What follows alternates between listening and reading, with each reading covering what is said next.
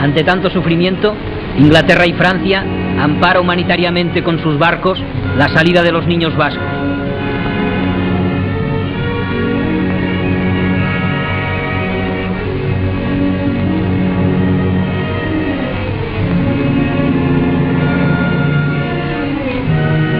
Mientras, los marinos de este pueblo heroico les esperan para custodiarlos y defenderlos en aguas de Euskadi.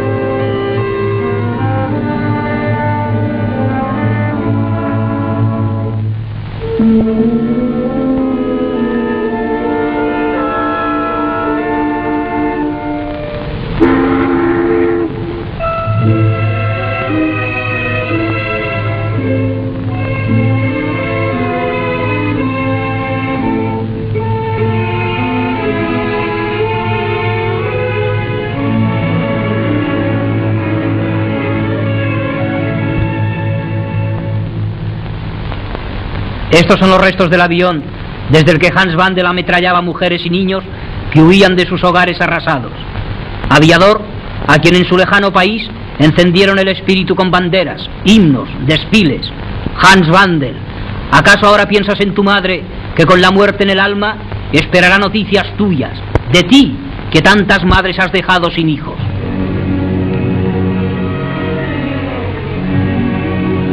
Aún quedan en el mundo seres sensibles al dolor, y en Francia, México, Inglaterra, Rusia, Suiza, Holanda, Dinamarca, Bélgica y otros países acogen con ternura a estos pequeños expatriados. Y son naciones distintas, partidos políticos diferentes, instituciones variadas y un sinnúmero de particulares, héroes sin nombre, que humildemente trabajan por una humanidad mejor, los que cuidan y consuelan a tantos miles de niños vascos que han tenido que abandonar su patria.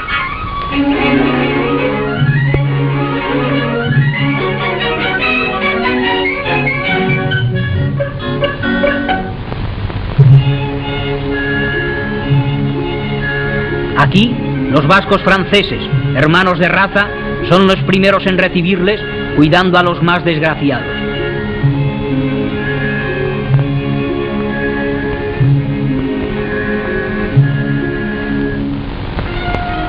Estos han perdido todo, patria, casa, familia. Un vasco benemérito, Manuel Inchausti, los tiene acogidos en Uztarí.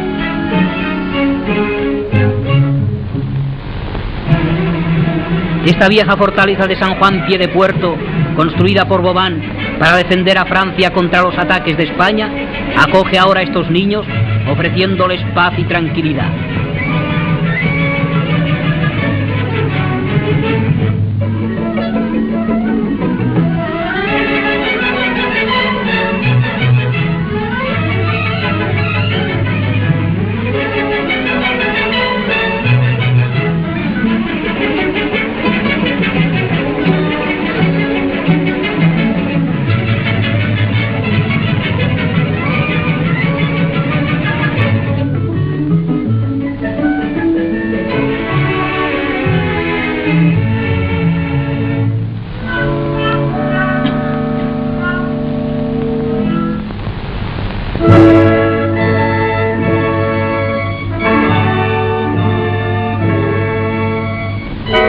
Es una de las numerosas colonias del Partido Socialista de Bélgica. Nuestros pequeños fraternizan con los niños de los obreros belgas hasta que solicitados por los particulares encuentran un hogar acogedor y una familia que les consuele.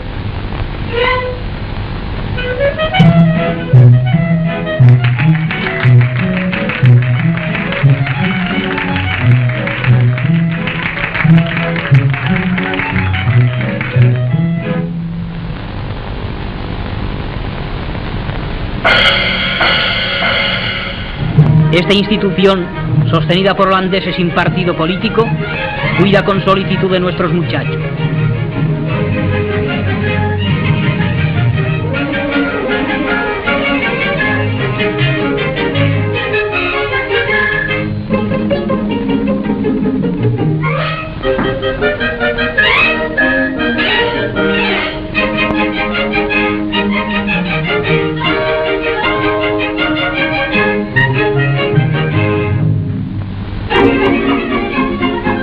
En este campamento de Southampton, en Inglaterra, encuentran con la alegría de la naturaleza una vida sana y animada que les distrae de la triste preocupación de su casa y familia.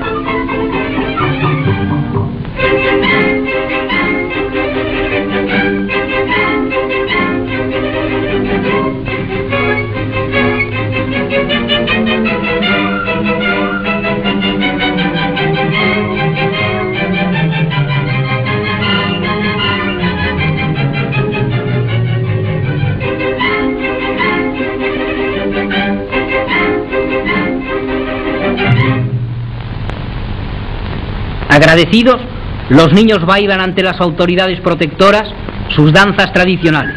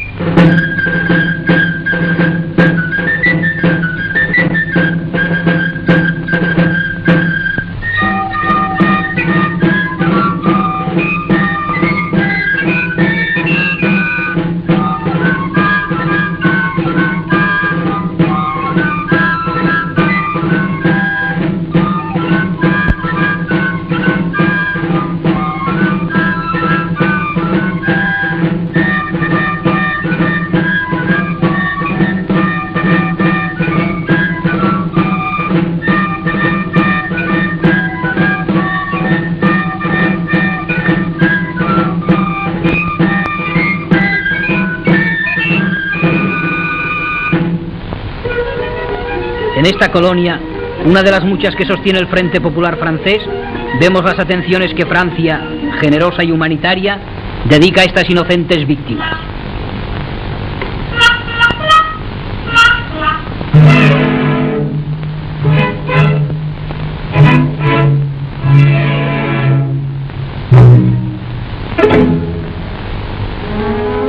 Qué distintos serían los destinos de la humanidad si los esfuerzos gigantescos que se realizan en armamentos para dominar por la fuerza se emplearan en empresas como esta para conquistar por la bondad.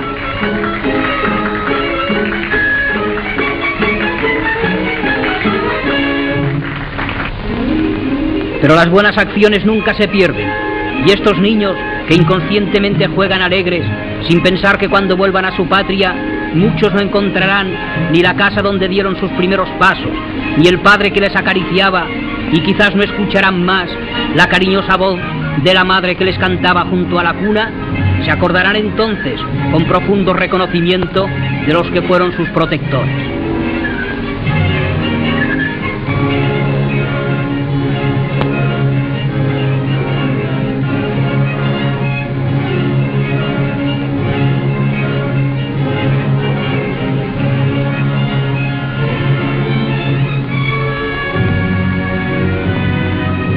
Estos viejos marinos tampoco olvidarán y saben quienes han destrozado su vida. Desde Francia, en Endaya, contemplan obsesionados al otro lado del río sus casas vacías de Fuenterrabía y su patria invadida y destrozada. Trabajaron toda la vida, rezaron mucho, amaron la libertad. Muertos sus hijos, solo les quedan sus nietos y de ellos cuidan Francia, Rusia, México,